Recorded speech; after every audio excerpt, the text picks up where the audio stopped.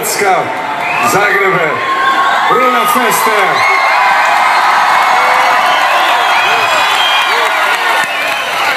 Dobro vam noć, dobrodošli.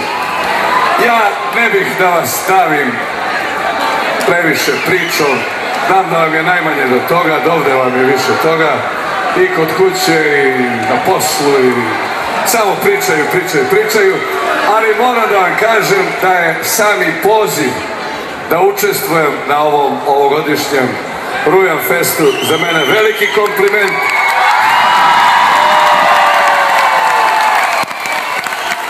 Organizatorima mnogo hvala, a ja se nadam da ću i ja, a i vi zaslužiti i da iduće godine nas pozovu. Živjeli! Tek smo počeli, nek ova noć ima čudnu moć!